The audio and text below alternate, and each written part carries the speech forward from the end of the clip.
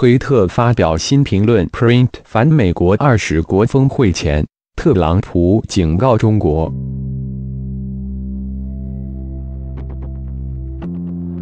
批评德国作者法广发表时间二十六至零六至两千零十九更改时间二十六至零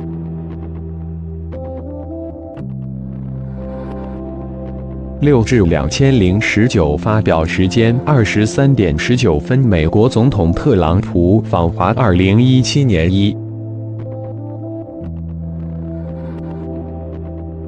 一月路透社，美国总统特朗普六月二十六日表示，如果他同中国领导人习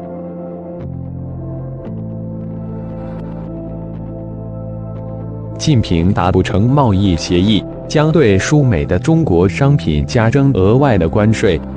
法新社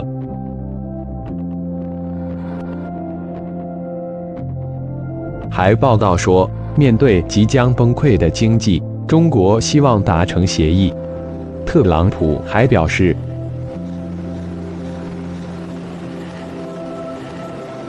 在贸易方面，越南比中国更糟糕。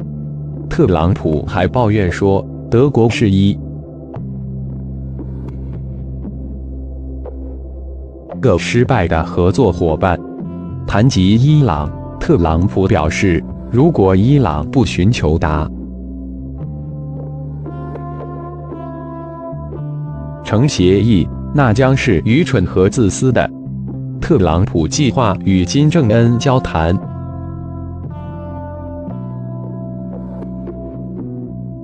但不一定直接会见他。特朗普接受美国福克斯商业网络采访时还表示：“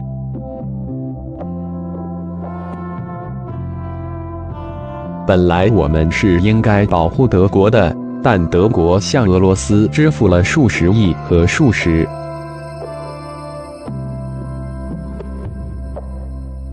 亿美元的能源。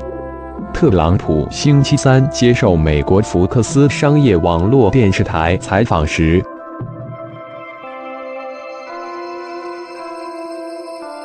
说：“如果那不起作用，如果我们达不成协议，我会加征额外的关税。”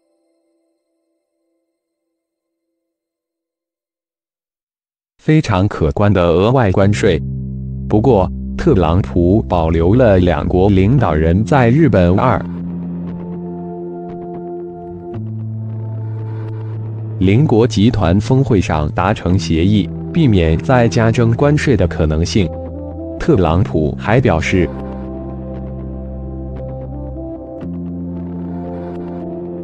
他希望同中国达成一项贸易协议。但是他对目前的现状很满意。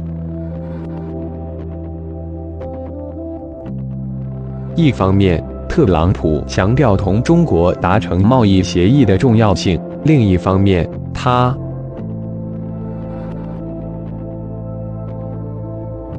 也表示关税对美国经济有好处。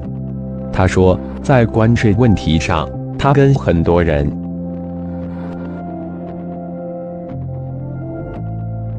的看法不同，指出自从美国对两千五百亿美元中国商品加征百分之二十五的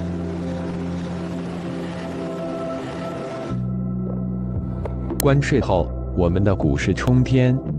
他说：“中国比美国更需要一个协议。”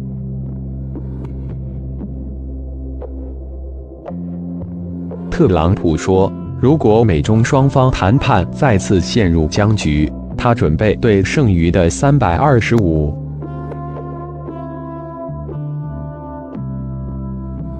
零亿美元输美中国商品加征关税。不过，他说他对下阶段采取不同